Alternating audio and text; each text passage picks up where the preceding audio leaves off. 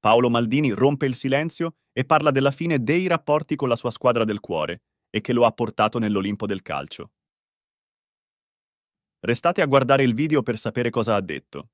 Paolo Maldini, con franchezza e senza mezzi termini, rompe il silenzio che durava da sei mesi dalla sua separazione dal Milan, orchestrata da Gerry Cardinale e Giorgio Furlani. In un'intervista a Repubblica, Maldini svela dettagli che gettano luce su una situazione interna al club, suscitando scalpore, soprattutto per quanto riguarda alcuni giocatori ancora in maglia rossonera, come Rafa Leao e Teo Hernandez, e sulla gestione di Stefano Pioli. Maldini critica apertamente l'attuale dirigenza del Milan, sottolineando la mancanza di rispetto per l'identità e la storia del club.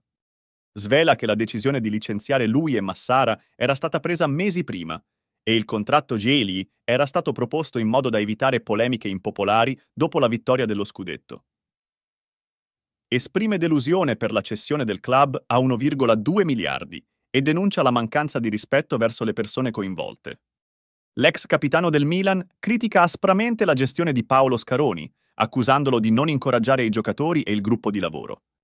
Rivendica il suo ruolo e quello di Massara, respingendo l'accusa di non aver condiviso obiettivi e strategie.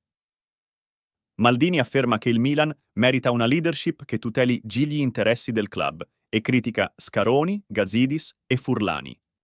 Maldini affronta le decisioni di mercato, difendendo la scelta di giovani talenti come De Ketteler e rivendicando il successo ottenuto sotto la sua gestione, che include uno scudetto dopo 11 anni, tre partecipazioni consecutive alla Champions League e un bilancio positivo dopo 17 anni. Infine, Maldini difende Stefano Pioli, riconoscendo il suo ruolo cruciale nella crescita dei giovani calciatori e sottolineando la frequenza degli incontri e dei confronti nel suo ruolo di responsabile dell'area tecnica.